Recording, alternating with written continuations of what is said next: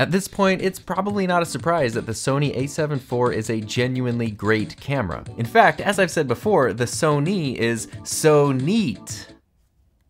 But from a video-centric perspective, let's compare it to the Sony a7S III and the FX3 to see who the a7 IV is even for.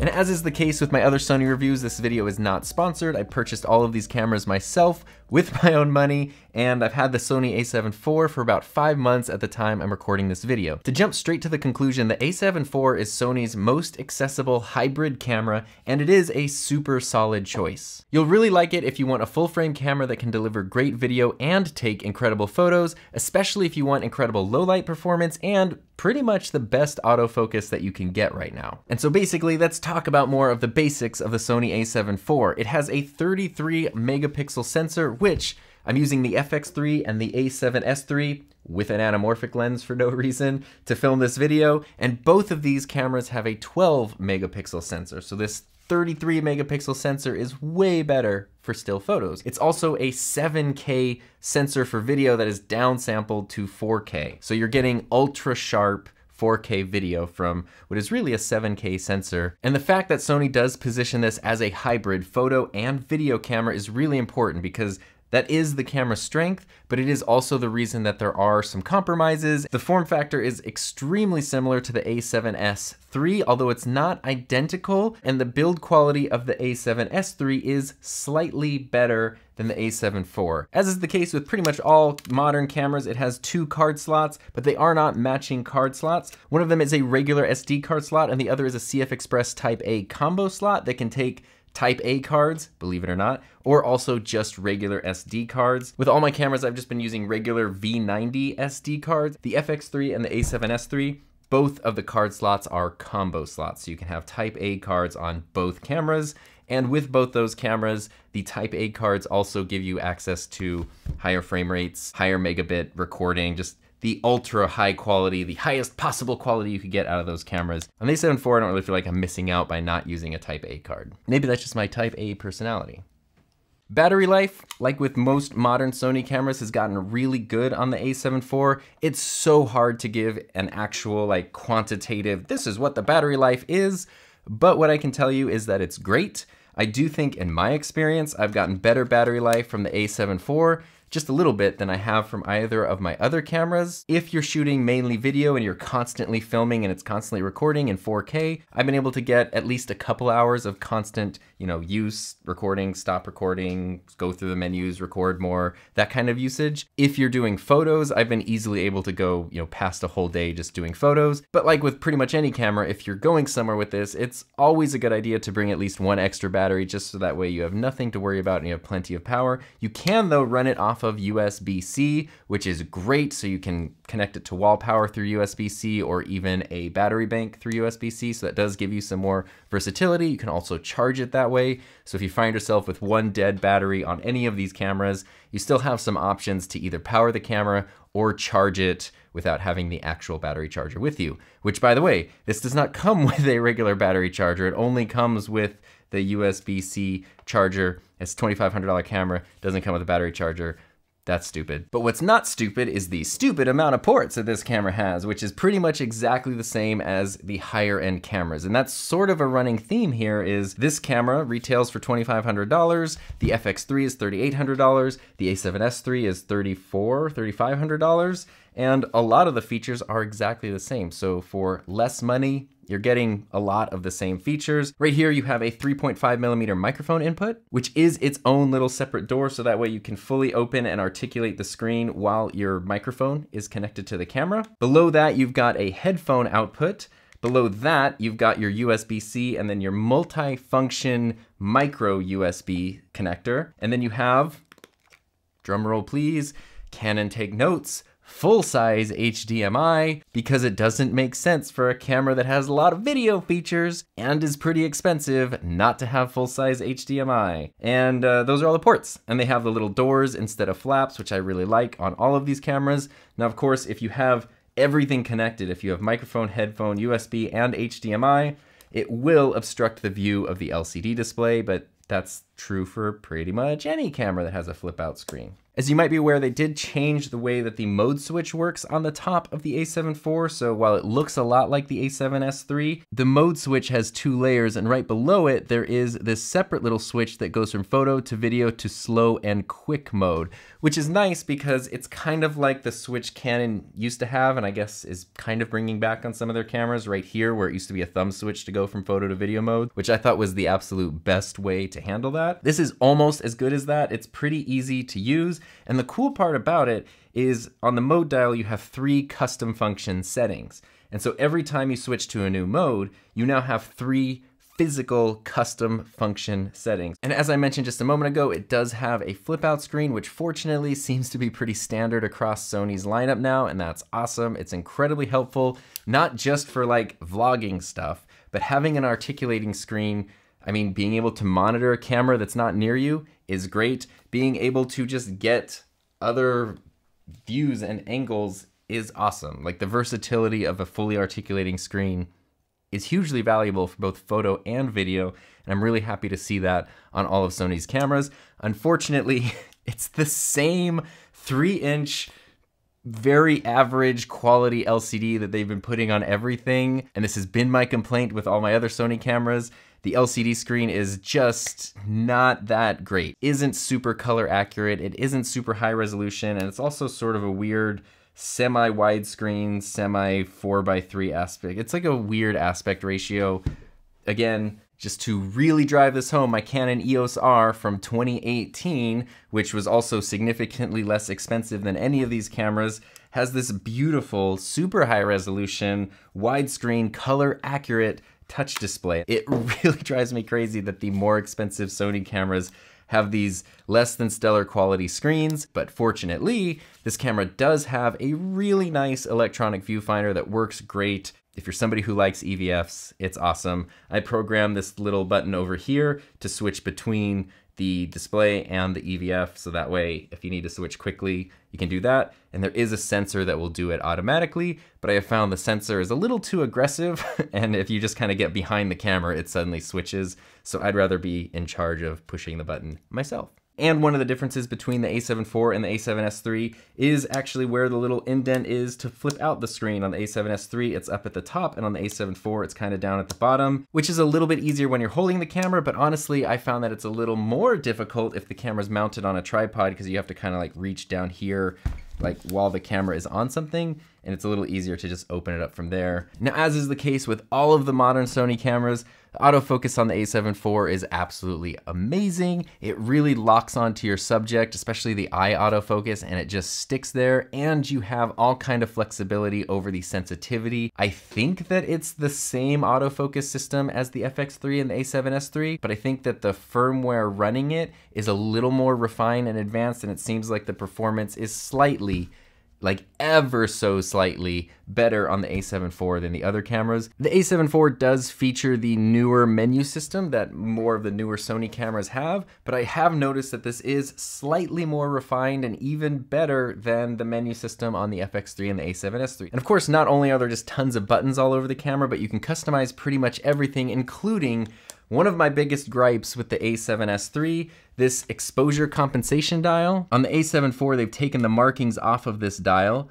because on the a7S III, if you use the camera in any kind of manual mode, this dial becomes useless. It doesn't work for exposure compensation, but right now you can't assign it to anything else. On the a7 IV, you can assign it to whatever you want. So I have mine set to adjust my audio level, which means I can just turn this and it's gonna bring the audio level up or down. And then if I have it where I want it, I can push in the little button to lock it and it's awesome. Normally I set the joystick on the back to adjust the audio, but since I don't have to do that, I do owe a shout out to Patrick Tomasso, who recommended setting this to be the Super 35 crop in mode. So if I push this button, the camera will then punch into the Super 35 crop mode, which the other cameras don't have, this camera can have a Super 35 crop because it has that 33 megapixel sensor. And then also with Sony's clear image zoom that works with some lenses, you can then zoom in even further a little bit, like 1.5 times, without losing resolution. So that means even when you're using a prime lens, which is a fixed focal length,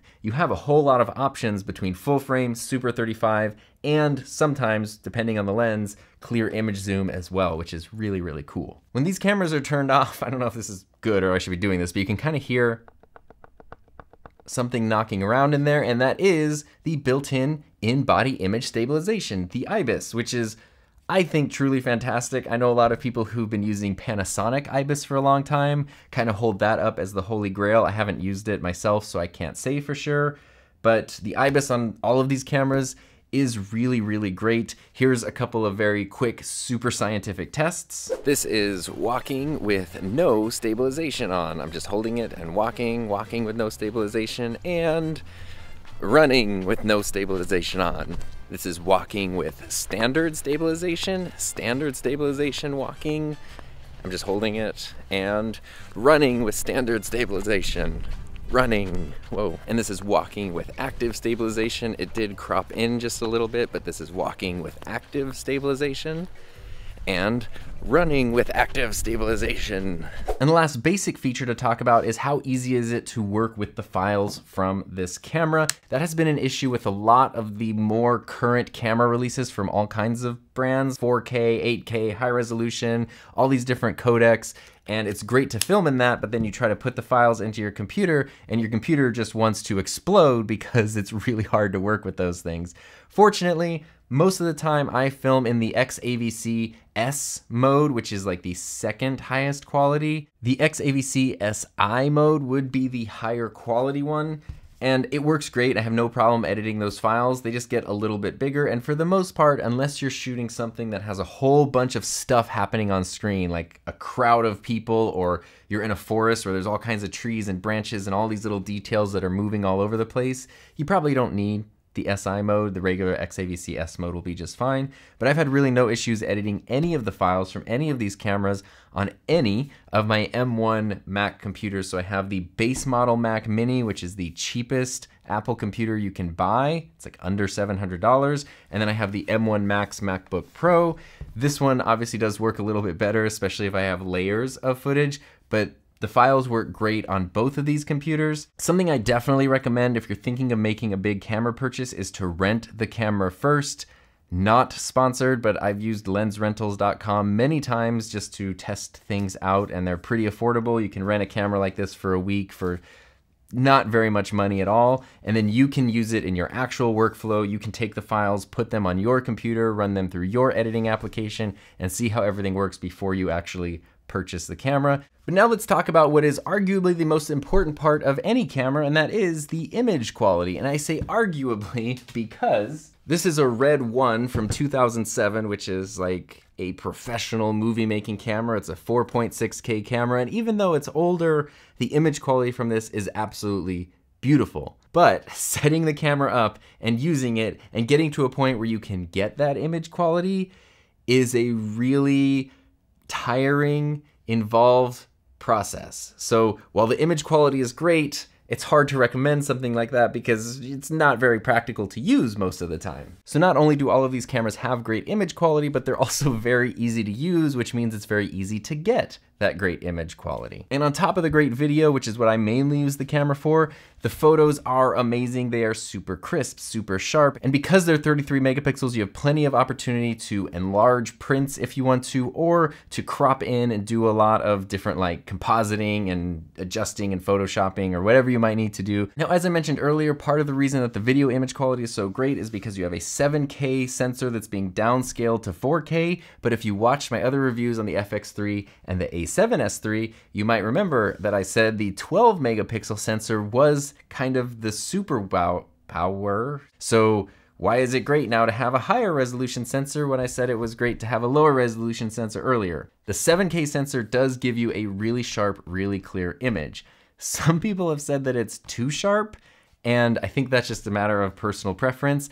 I don't think so, but I also grew up using camcorders and 8mm VHS cameras that always look like a mushy mess.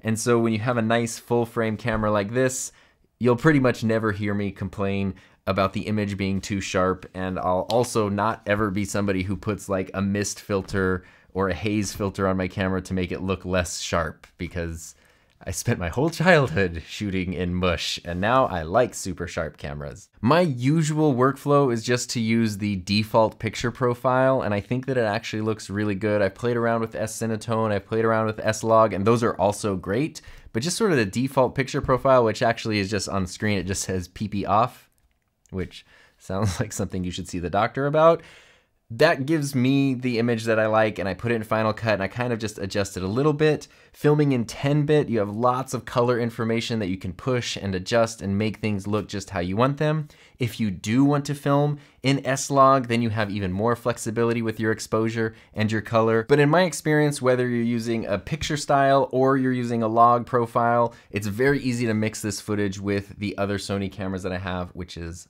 awesome. And speaking of those other Sony cameras, let's talk about how the a7 IV stacks up against them when it comes to low light performance. You will be delighted to know that this is an awesome low light camera. That's kind of something Sony has been known for. I think on paper and technically, this is not quite as strong of a performer in low light as the FX3 and the A7S III, because of the sensor, but I still think that this is really, really impressive and you can judge for yourself. So here is a quick comparison between the A7 IV and the A7S III in pretty much pitch black darkness. This is the A7 IV. We are at f1.4 with ISO 100 and a shutter speed of 1 50th of a second.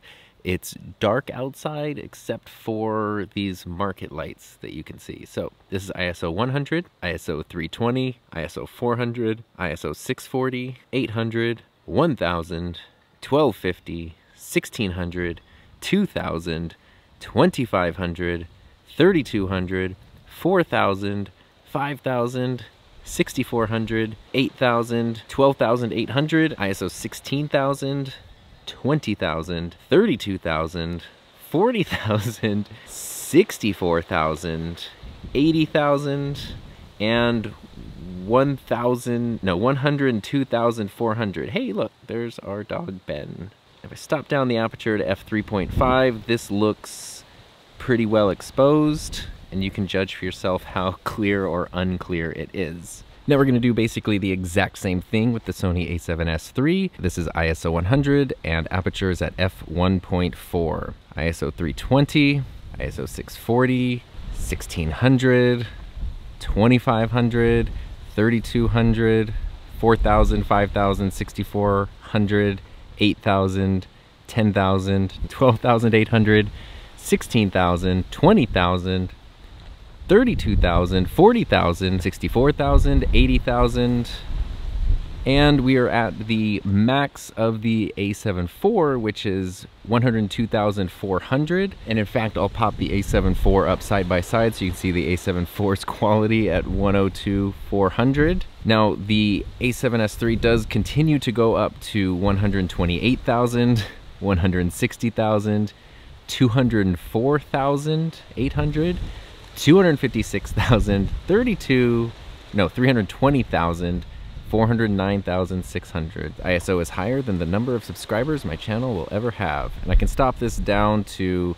f5.0 so you can see how noisy the highest ISO of 409,000 is on the A7S III. Let's check out ISO 32,000 on both cameras, ISO 16,000 on both cameras, 6400 on both cameras, 3200 on both cameras, now while there are a lot of great things about this camera, unlike me, the a7 IV just isn't perfect. There are definitely a few potentially major issues that you should be aware of, but how major those issues are totally depends on your preferences and your specific workflow because something that is a total deal breaker to one person might not even be noticeable to somebody else. And the biggest hot button issue with the Sony a7 IV since its release is overheating. And I might take some heat for this, but I don't think that overheating is going to be an issue for most people in most situations. But if you do need a camera that can record 4K for extended periods of time, like longer than 30 minutes, in a really high temperature environment, this is not the camera for you. Definitely get the A7S III or better yet, the FX3 that has a built-in fan,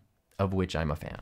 Sony themselves does recommend opening the display if you're concerned about overheating because this will let more heat escape from the camera. The reason that the camera has the potential to overheat is because of that 33 megapixel sensor. That's a lot of data and a lot of info to process many times per second when you're recording video, and that generates a lot of heat, which is why the camera has the potential to overheat. It's also why the 12 megapixel sensor of the other cameras doesn't cause overheating because there is less data to process and there's also less like downscaling and resizing and all of that crazy complicated stuff that the camera needs to do. That's also the reason why 4K 60 is cropped on this camera. It goes into Super 35 crop mode if you go to 4K at 60 FPS, and that's to use less of the sensor to generate less heat. And that's also why the camera does not have 4K 120 at all. But even though overheating has not been an issue for me in the five months that I've been using this camera so far, for the sake of this video, I did want to do some, again, super scientific testing,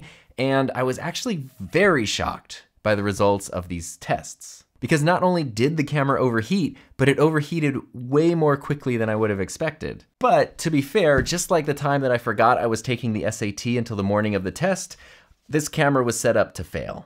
I put it in exactly the situation that Sony says not to on a really hot day outdoors beyond the operating temperatures of the camera with the screen closed. So it was the worst possible temperature situation for the camera. These tests are the only time that overheating has ever happened for me with this camera. In my normal use and my normal workflow, it has not been an issue at all. But I do live in the desert and this is a good chance to take advantage of being in what can sometimes be literally one of the hottest places on planet Earth. On this specific day, it was over 100 degrees Fahrenheit outside, and the only places with higher temperatures in the world were in northern Africa. Each test was done after the camera had cooled to room temperature indoors, and I fully charged the battery and freshly formatted the SD card. For the first test at 4K 24, the camera ran for 19 minutes and 39 seconds before overheating. It had 83% of the battery left, and the external temperature of the camera reached 120 degrees Fahrenheit, which is 49 degrees Celsius. So after that, I let the camera cool down inside in the air conditioning.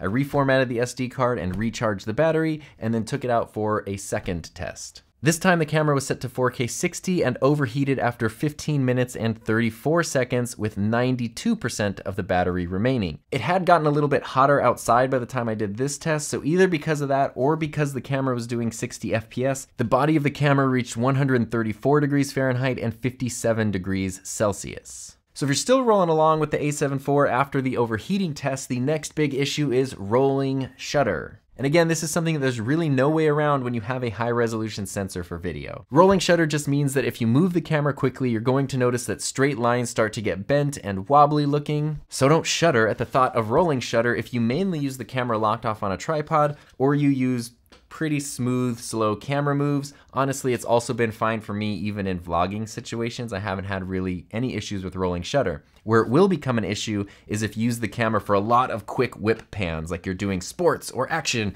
or wildlife and things are moving very, very quickly, that's where you're going to start seeing rolling shutter. And if you do that kind of work a lot, you're probably going to be better off with something like the FX3 or the A7S III. And speaking of those other cameras, even though the a7 IV is significantly less expensive, it does have a few very distinct advantages over those higher end models. First and foremost, it's better for photos. Like obviously, that's why I bought this camera is because I wanted this to be my main photo camera. You can take great photos with the 12 megapixel sensor on the other cameras, but if I'm going like out or on a trip and I really want to capture the best photos that I can, and I think that I might blow them up later, or I might do some kind of post processing, cropping in, something like that, having the 33 megapixels is super worth it. Animal eye autofocus is improved on this camera versus the other ones and works exceptionally well. That's great because I love to take photos and videos of our dogs. It does also have something really cool, which is focus breathing compensation. Like the lens I'm using right now, the Sony 24mm f1.4.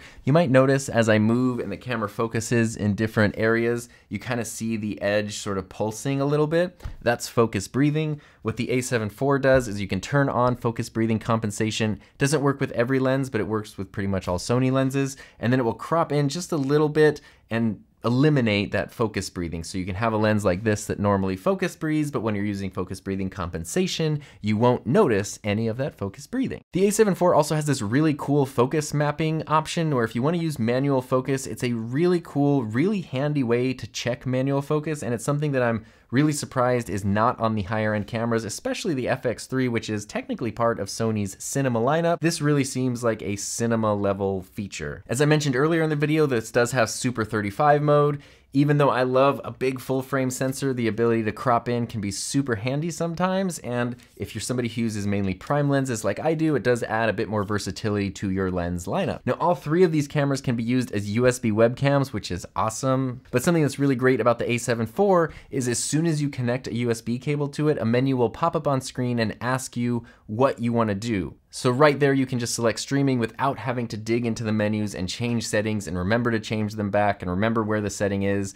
It's really, really handy and works really great if you want to use this camera for video calls or any kind of live streaming. The a7 IV also has a feature that I love, which is the shutter being used as a sensor cover. Of course, you do then run the risk of damaging the shutter, so you need to be very careful not to touch the shutter, but you can turn this on or off. So if you don't want that, you can just turn that feature off. But if you're like me and you really do like that, turning it on is a huge lifesaver because I don't feel terrified to have a lens off of the camera for a few seconds. That's a pretty long list of advantages that the a7 IV has over the higher end models. A lot of those things I think could very easily be brought to the other cameras through firmware. I really hope that they are because I think that when you're spending more than a $1,000 more on another camera, you should be at least getting all of the features that the cheaper camera has. So can't say for sure if that'll happen or not. Hasn't happened at the time I'm recording this video, but I hope that it does in the future. But just like every rose has its thorn, there are disadvantages to the a7 IV when compared to the higher end models. First and foremost is the lack of 4K 120. This is something that I was not interested when I got the a7S III. I didn't care about 4K 120 at all, but once I had it, I started using it all the time, and now it's a pretty integral part of my personal workflow. So if this were my only camera,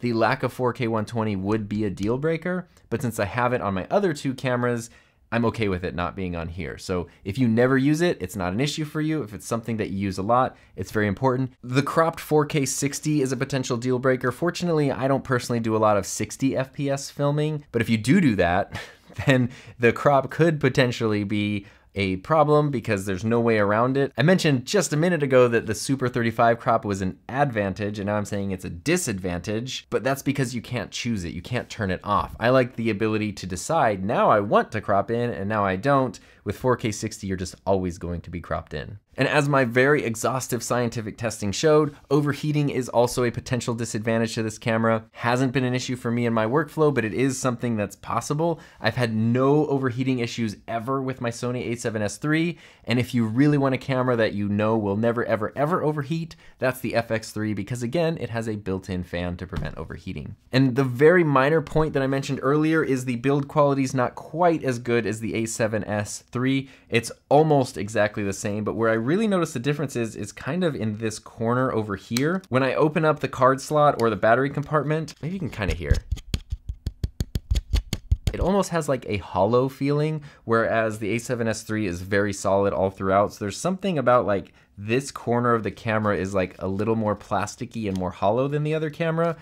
It's weird. And one other disadvantage that I didn't know about until I had the camera and was using it is it does not have a little IR sensor for the Sony remote control. This is a super cheap, like 15 to $20 remote control that lets you start, stop recording, zoom in and out, access the menus. This will work with Sony's Bluetooth remotes, but those are more expensive and you have to connect Bluetooth. This one is just so much easier and I didn't know that Sony had gotten rid of that on the a7 IV. And ultimately, if you are somebody who considers yourself a hybrid shooter, or at least you do 50-50 photo video, then the a7 IV I think is a no-brainer. Like definitely this is the camera that's the way to go. And if you don't need 4K 120 or full frame 4K 60, and you're not concerned about overheating or rolling shutter, which it sounds like a lot of things, but those could potentially be non-issues for some people, then this is an incredibly solid choice, and I think you'll have an awesome time with this awesome camera. And speaking of things that are awesome, thank you to everyone who helps support my channel through Patreon and YouTube channel memberships, and be sure to check out these reviews for the Sony a7S III and FX3 to round out my Sony camera review trilogy.